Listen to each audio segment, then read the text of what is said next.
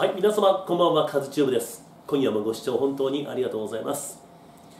えー午後遅くになってから雨が上がった関西ですが今日一日中もほぼ雨で今日はオープン戦はもともと予定ありませんでしたがファームのウエスタンリーグの公式戦が中止になりました、えーオリックス対中日のゲーム前芝のゲームだったんですが中止。でこの時期はねこのファームのゲームではあるんですけどもこの1軍クラスの、えー選手を試したい時期でもあるんでね、えーこの雨はやっぱり、まあ、痛いですよね。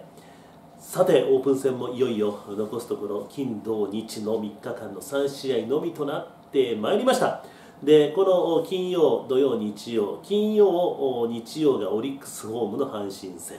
えーそして土曜日だけが同じ阪神戦なんだけれども、え阪神ホームということになりますね。いつもの感じでございますがさてオリックスさんはここまでオープン戦を13試合消化しておりますが成績は、え皆さんご承知のように7勝3敗3分け。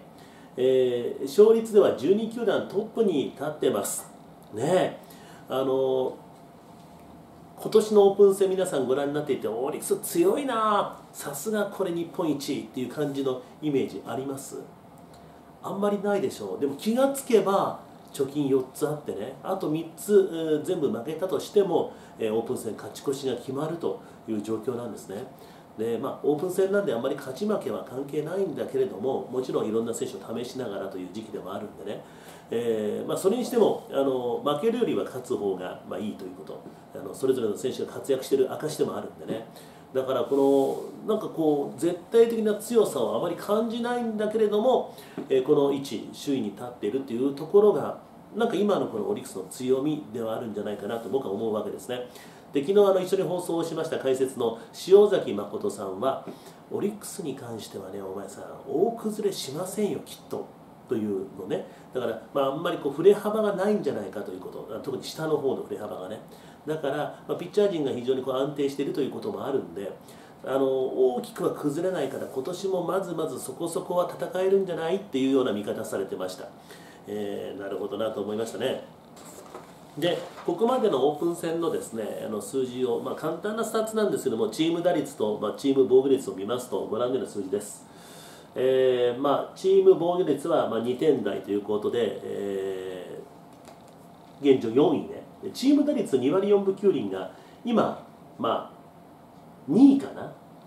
首位の楽天は2割7分台あるんだけどもそこから大きく空いて2位がオリックスの2割4分9厘ということ。でまああの母数が少ないんで、まあ、ちょっと打ったりするとあのぐっと上がるしね。でここ2試合かな。2桁打ってるんでねオリックスもヒットだからまあちょっとこのチーム打率も上がってきましたがえ現状2位でしょ？でなんかそんなイメージないじゃない？で投げる方ではこの12球団4番目という数字ではあるんだね。で実際にこの巨人と西武に至ってはこの防御率は1点台ですから、えーまだまだいいチームあるんですがオリックスもあのまあ普通に上位にいるという状況なんですね。で山本由伸君がいない宮城君がいない。えーセットアッパー2人もいないということね、えー、芦屋のマダムと吹田の主婦がいないという状況であっても、えーこの数字なんでね。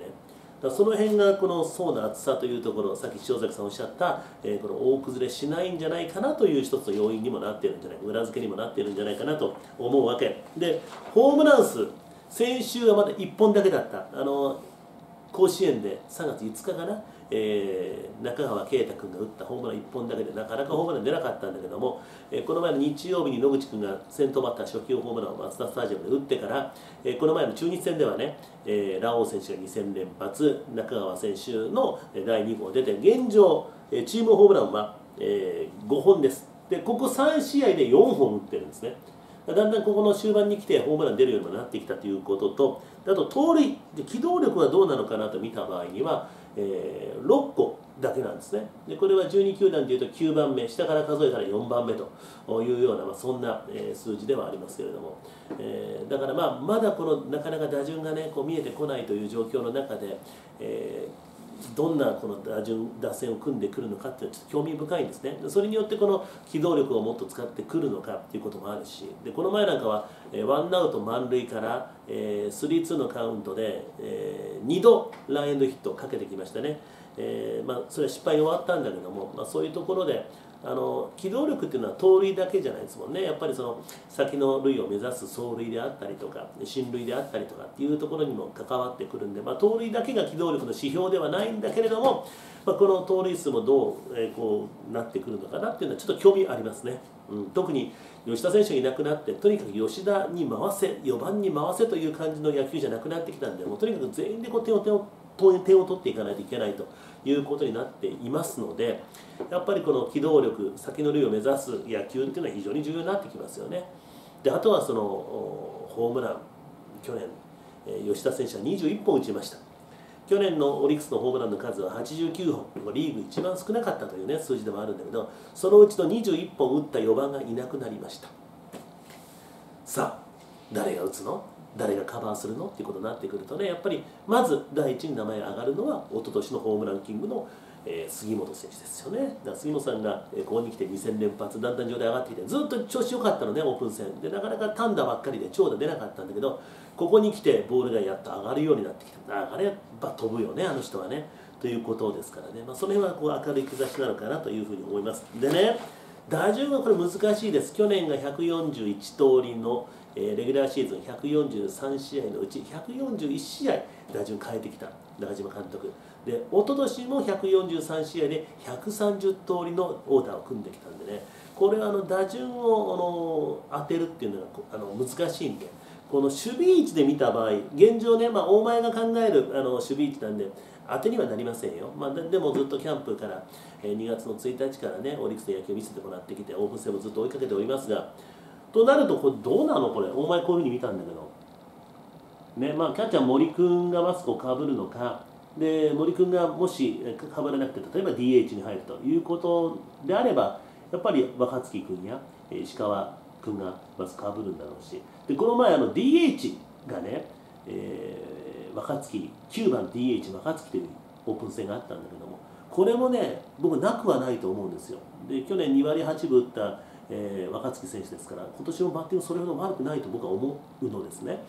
ですからまあそこはねあるのかな。でまあセカンドにゴンザレスを持っていきたいなと思ったの。ってこの前の中日戦での543のゲッツーがあったんだけどあの時のサード宗からの送球取ってからのゴンザレスの速かったことあの切り返し。あの辺はなんかさすがメジャーリーガーのこの肩スナップスローっていうかねあの速さを見たような気がしましたけどもね。だからゴンザレスをまあファーストとかで使うんであればセカンドで使った方がいいのかなと思って。でそうするとファーストに中川圭太君を持ってきてセカンドゴンザレス。でサード宗はもうまあまあいいじゃない？ね、でショートには紅林君を持ってきてで野口君が調子いいんで、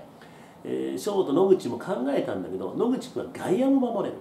ね、でセンターに野口君を持ってきて福田選手をレフト。でライトに杉本。っていう考えもあるし。でそうなると DH がね本当ねさっき言った本当だったらねあのシュインデルがあのねあの、まあ、計算できればファーストシュインデルっていうのがあって